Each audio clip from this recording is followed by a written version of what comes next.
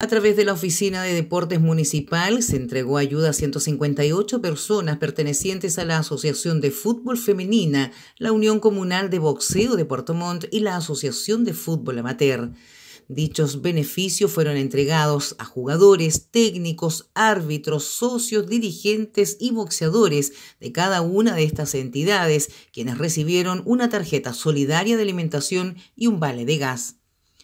El encargado de la Oficina de Deportes, Alejandro Sade, sostuvo que esta ayuda viene a cumplir un compromiso adquirido con el alcalde Gerbo Paredes de poder brindar apoyo a distintas organizaciones sociales y gremios que se encuentran afectados ante la actual contingencia. Hemos recogido eh, por intermedio de los dirigentes la problemática en realidad de, de la pandemia, así que nosotros estamos acá justamente para tratar de ayudar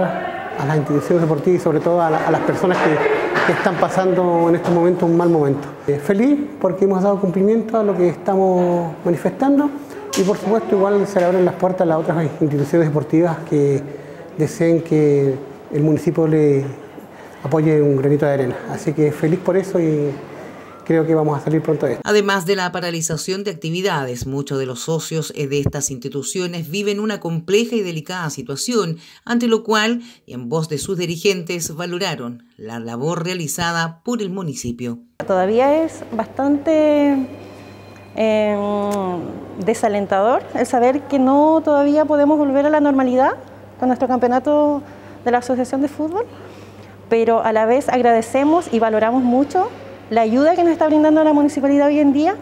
porque hay muchas personas que han perdido sus trabajos, con el tema de la cuarentena no han podido salir a ganar su dinero para llevar el, sustento a su hogar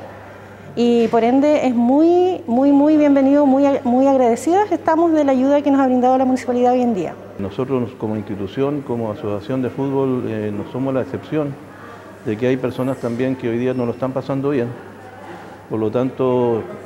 eh, en conversación con la ilustre municipalidad, eh, a través de don Alejandro Sade, a quien yo tengo que agradecerle muchísimo por la gestión realizada, y obviamente a nuestro alcalde, nuestro Boy Paredes, iniciamos esto eh,